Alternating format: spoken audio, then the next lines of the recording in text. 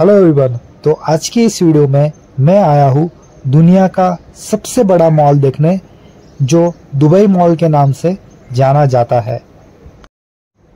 इस मॉल के अंदर आपको दुनिया के सब ब्रांड के शॉप मिल जाएँगे। इस मॉल के अंदर आइस स्केटिंग की एक्टिविटी होती है, जो काफ़ी शानदार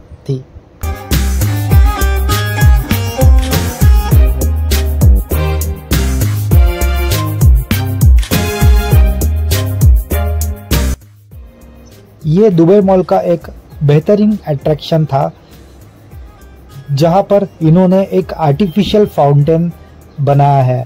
और इस फाउंटेन का व्यू बहुत ही शानदार है और हर कोई इसके साथ अपनी फ़ोटो निकाल रहा था।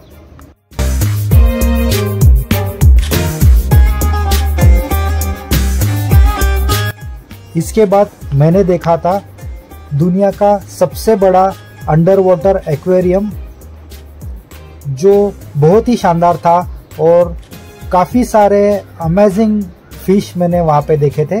ये आप बाहर से फ्री में देख सकते हो। मगर आपको अंदर से टनल में से जाना है तो आपको 150 दिराम यानी तकरीबन 3500 रुपीस पे करने पड़ते हैं।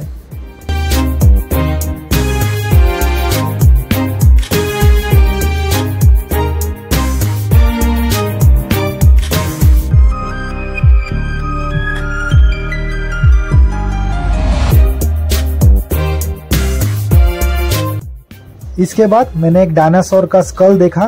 पता नहीं ये रियल था या फेक बट मैंने इसके साथ कुछ फ़ोटोज़ भी खिंचवाए थे।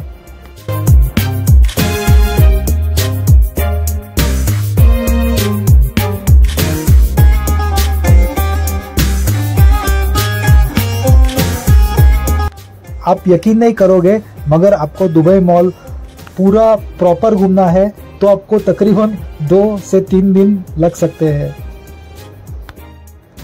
आपको दुनिया के सब बड़े ब्रांड एक ही रूफ के अंदर मिल जाएँगे और आप वहाँ पे शॉपिंग भी कर सकते हो।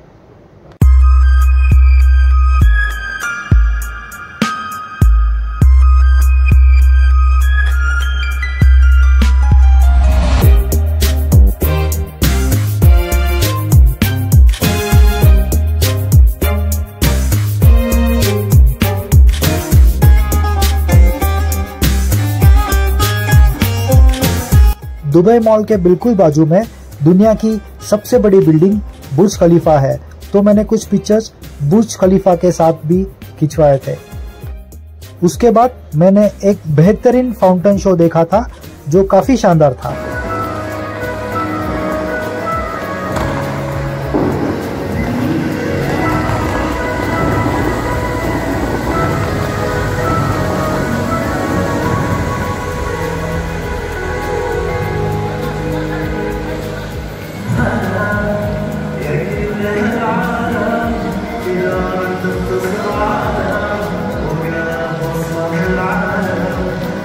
दुनिया का सबसे बड़ा टेलीविज़न भी इसी मॉल के अंदर है, जो आप देख सकते हो।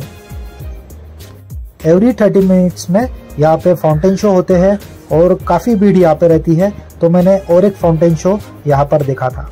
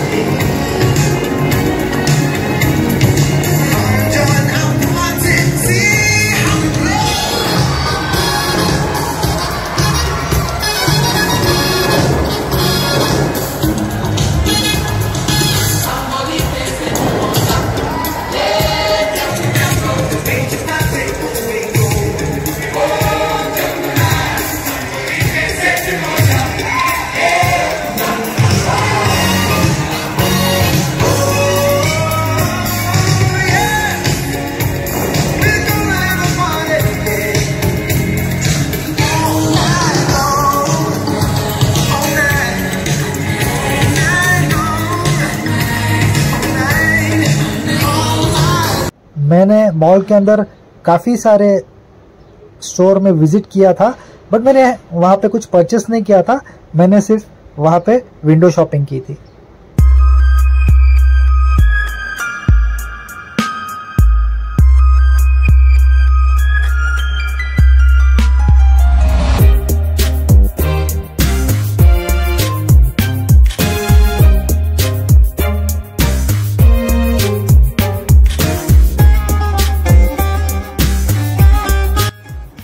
दुबई मॉल का एम्बियंस बहुत ही शानदार था और दुबई मॉल इतना बड़ा है कि इसमें एक शहर बच सकता है।